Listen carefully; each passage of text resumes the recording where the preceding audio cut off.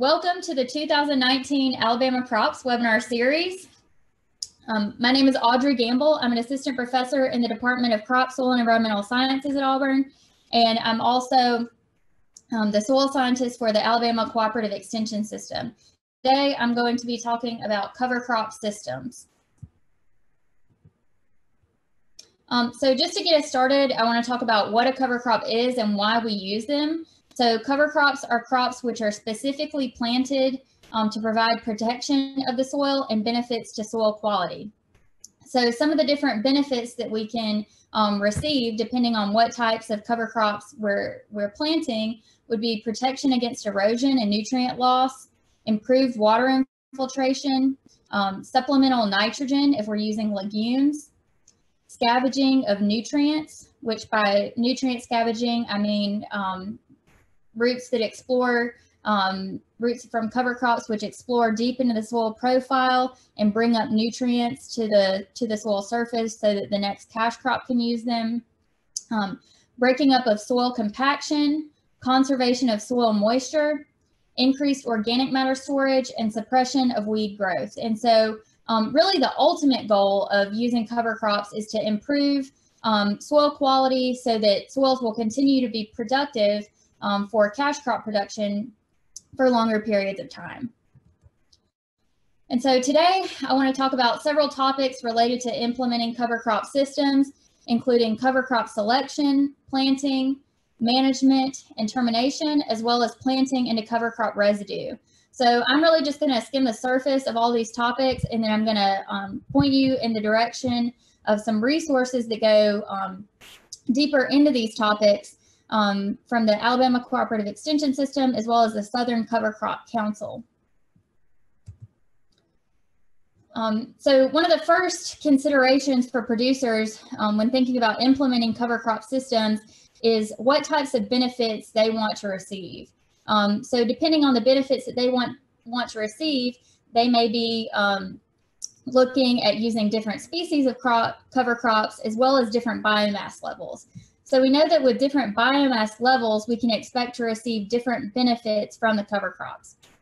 And so with lower biomass levels, um, we can expect to see protection against erosion and nutrient loss and improvements in water infiltration. And as we increase um, levels of biomass, we can start to see additional benefits, such as conservation of soil moisture, increases in organic matter storage, and some early season um, weed suppression. Um, so when we have high levels of biomass that also have a, a high carbon to nitrogen ratio, that provides a, a thick mat of residue on the soil um, next to the cash crop, which would, can help with um, some of that, that early season weed suppression. So another consideration for producers when deciding what cover crops they want to implement is the species of cover crop. So um, with different species of cover crops, we can expect to observe um, different benefits. So some of the small grains such as uh, cereal rye, oats, wheat, um, those can provide, have the potential to provide some of that high biomass, which can assist with weed control and conservation of soil moisture, um, as well as increased organic matter. Um, and we know that increased organic matter can help help um, improve the nutrient holding capacity and water holding capacity of soils. Um, small grains can also have fibrous root systems um, to scavenge for nutrients and bring those back up to the soil surface. And um, they have the biomass levels to help improve water infiltration and prevent erosion. Um, legumes species such as crimson clover, hairy vetch, um, other clovers, other vetches, um, can of course fix nitrogen um, and that nitrogen that is fixed from the atmosphere um, will degrade um, and, and hopefully provide some supplemental nitrogen for the subsequent cash crop. Um, legumes also provide enough biomass to help with erosion pre prevention and improved water infiltration. Um, and then all the last kind of class of species of cover crops would be brassicas, um, such as tillage radish or canola. These species have uh, deep tap roots, which can break up soil compaction and also scavenge for nutrients deeper within the soil profile and improve water infiltration. Um, this is just going back to legumes and some of the benefits that they can provide. This is a graph showing um, nitrogen production in pounds per acre with some of the different cover crop species. So you can see crimson clover, which is our most common legume cover crop grown in Alabama, can provide it can fix about 150 pounds of nitrogen per acre um, with a good stand. Not all of that nitrogen is going to be available for the subsequent cash crop, but we can typically, depending on when that cash when that uh, legume is terminated, um, see about 30 to 50 pounds of nitrogen um, to help supplement growth of, of the subsequent cash crop.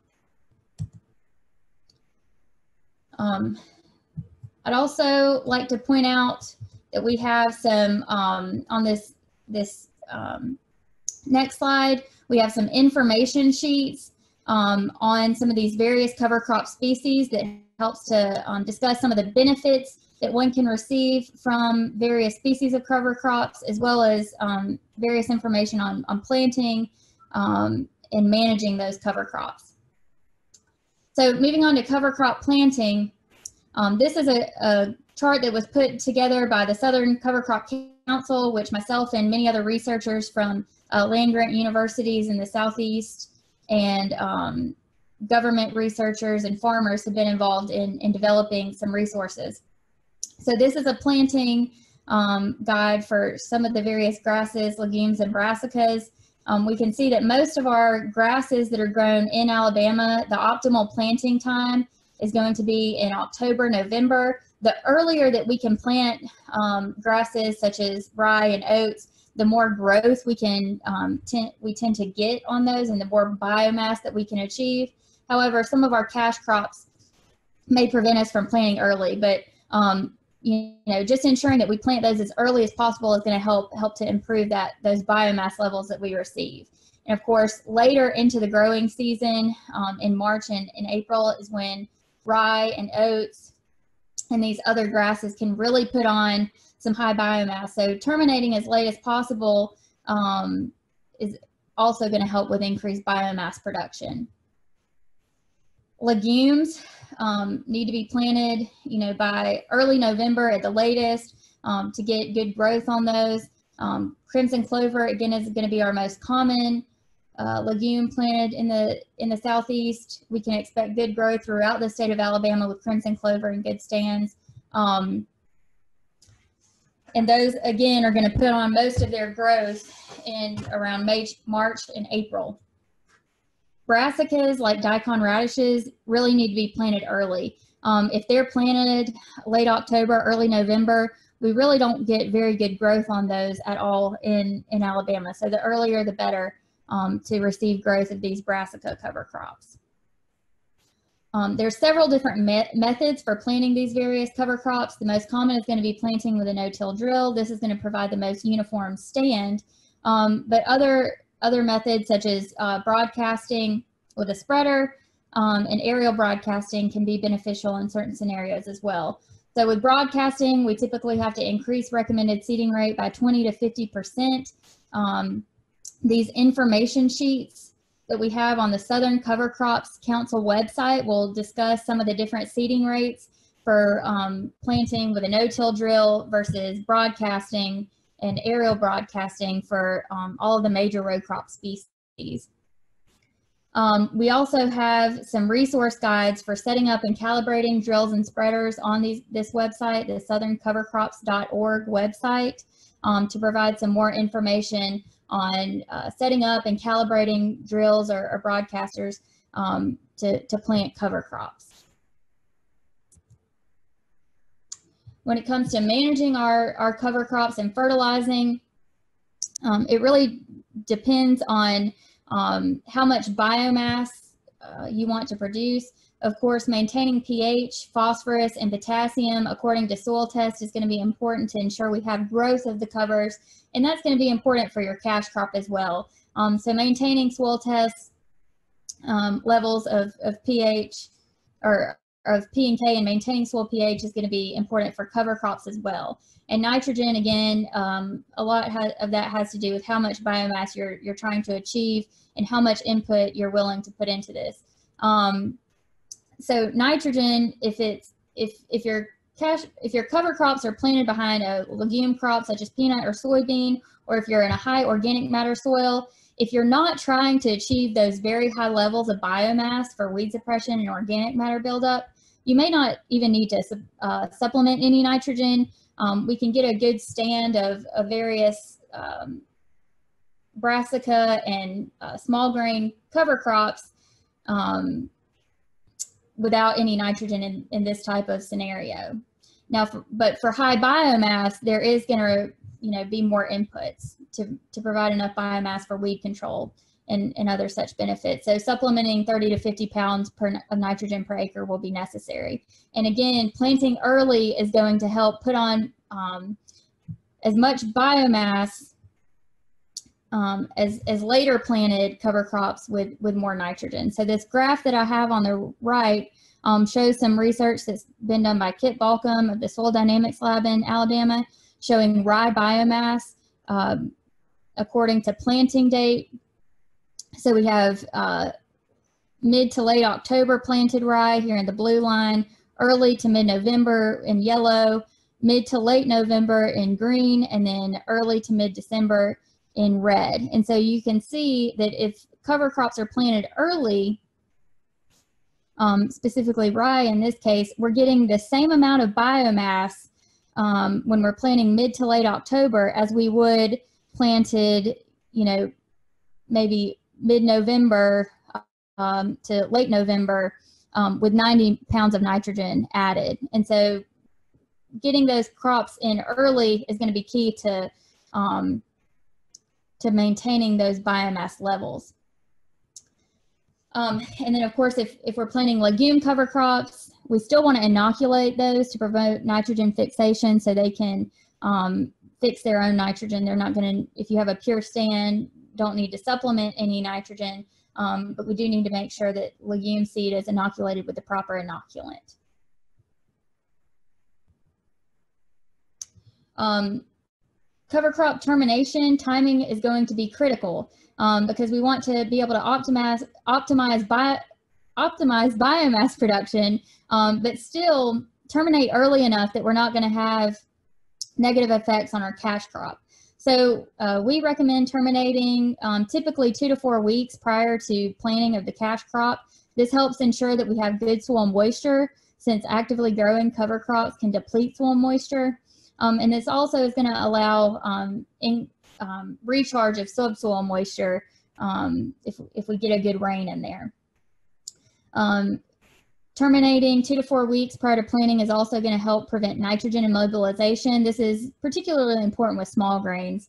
Um, because small grains have such a high carbon to nitrogen ratio, they can actually tie up some of the nitrogen that, that your cash crop is going to need um, in order to grow. And so if we terminate early enough, we can, can avoid that scenario.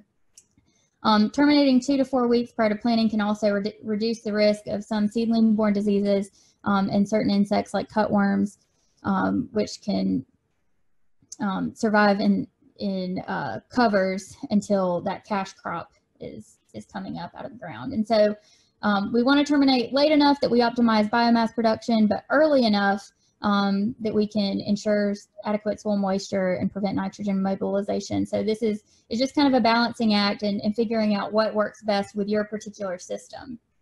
Um, there's several methods of termination, um, but in row crop systems, we're going to typically be talking about chemical termination, and this may be with or without rolling. Um, we have producers in Alabama um, who do both. Um, so um, there's a we have a lot of information on um, herbicides for terminating cover crops again on the southerncovercrops.org website. Um, small grains can be easily terminated with glyphosate typically. Um, one exception would, would be annual ryegrass um, since we see some resistance to glyphosate with ryegrass. Um, legumes, take mixtures of glyphosate with glufosinate, dicamba, or 2,4-D um, are typically effective. That's what we've, we've seen in research trials as well as um, word from producers. And then brassicas, uh, glyphosate plus 2,4-D can typically be effective. And um, timing of termination relative to cash crop planting will influence whether um, residual herbicide should be um, mixed with um, the, the herbicides that you're applying to burn down cover, um, whether those are going to help provide effective control. So for more information on terminating and also um, residual herbicides for um, weed control in, in the cash crop, we have a lot of information on the Southern Cover Crop website that has been provided by various weed scientists throughout the site, uh, Southeast. Um, some other methods for cover crop termination include rolling and crimping, um, mowing and incorporation. And these two um, methods for termination are more likely used by smaller um, uh, smaller production systems such as vegetable or fruit production and, and organic systems. Um, but there there are implements available as you can see in this picture. Um, if when crops are rolled and then crimped well, um, that can terminate the, the cover. But for some of our species like vetch, um, they it can take several times of, of going over with a roller crimper in order to kill. Um, so again, there's there's some more information on these various terminations at the at the Southern Cover Crops website.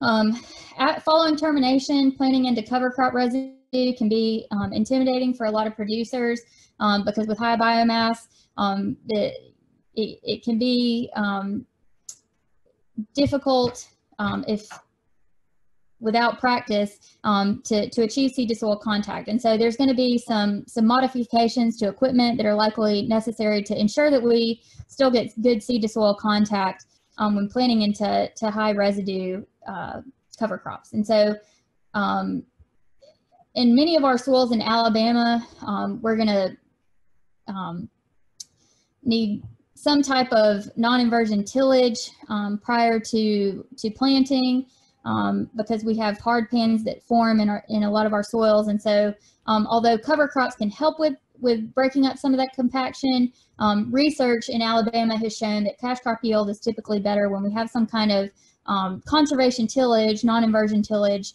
um, used in the planting row. So in this picture here, you can see we've got a subsoiler um, that's where we've got a, a shank that's going deep into the soil to break up that compaction layer and a, a coulter in front of that to ensure that the residue is cut and doesn't wrap around um, that shank. And so making sure that we have a good sharp coulter that's far enough in front of that shank so that it can can cut through um, firm ground is going to be important um, if you're if you're using a subsoiler or subsoil roller um, prior to planting. And then when planting into cover um, crop residues, wheel cleaners um, can be used to help ensure good seed to soil contact. Uh, these row cleaners should not should barely touch the soil surface so that they um, sweep residue out of the way, but it doesn't get um, cause hairpinning and um, minimizes soil disturbance. And so, of course, maintaining correct down pressure and using clo closing wheels that are correct for your soil type um, is important when planting into cover crop residue. And um, our friends at University of Georgia have made an excellent video on setting up your planner for planning into cover crop residues, and I've, I've provided a link for that here um, that goes step by step into, into planning into high residue cover crops. Um, just to finish off this webinar, I'd like to talk about some of the research that's being done in Alabama in cover crop systems. Um, one of the, one of the things that, or one of the topics that we don't have a lot of research on right now is cover crop mixtures, um, particularly within including brassicas and cover crop mixtures within Alabama. And so um, we've got some studies set up at three different locations in different climates and soil types in Alabama to look at um, uh, single species and mixtures of rye, clover, and tillage radish. And we've got any combination of these cover crops, whether it's two-way or three-way mixtures of these covers. And we're examining how those affect various soil properties such as organic matter storage, nutrient content, and compaction, as well as some of the production aspects such as insect populations um, in cash crops following these, these various covers, and of course cash crop yield. So we're looking at this in some, some cotton soybean rotations and cotton peanut rotations um, throughout the state of Alabama. Um, we're also, again, because we don't have a lot of research on these tillage radish, doing some, some research on these. So we've got studies at a couple of locations in Alabama to look at various radish cultivars um, and planting dates of radishes to see if they're able to um, break through compaction layers. And we're also, you know, taking measurements on, on biomass that's produced with these and length and diameter of roots. So typically we see this large fleshy portion of the, the radish um, which which some people think is, is what's supposed to break through compaction. But radishes actually have this smaller taproot that goes deeper into the soil profile. Uh, this is a picture that one of my graduate students took. Um, it's going to about a, a, I believe, a foot and a half into the soil. Um, you can still see that radish root growing. He traced it, it that far.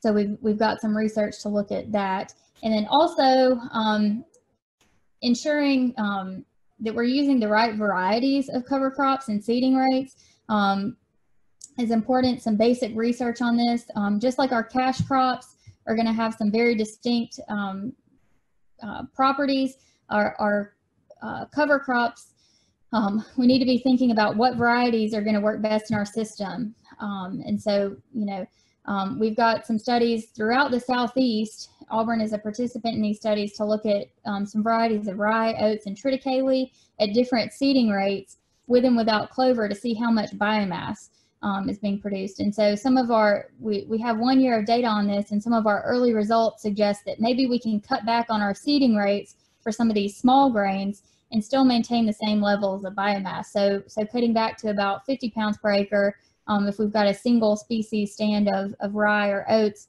can achieve the same, can potentially achieve the same levels of biomass. So we're continuing to evaluate um, basic information like this. So just to end this seminar or this webinar, um, I'll again point you in the direction of some, some resources that can provide some more information. The southerncovercrops.org um, contains a, a lot of information on management of cover crops, terminating of cover crops, um, and planting of cover crops. And then the alabamasoilhealth.org um, website on the extension, um, Alabama extension webpage provides a lot of information on benefits of soil, um, of cover crops and, and, improvements in soil health, um, as well as some of the research that's been going in Alabama related to soil, to cover crops. Um, so to end, I'd just like to thank you and provide you with my information if you have any questions.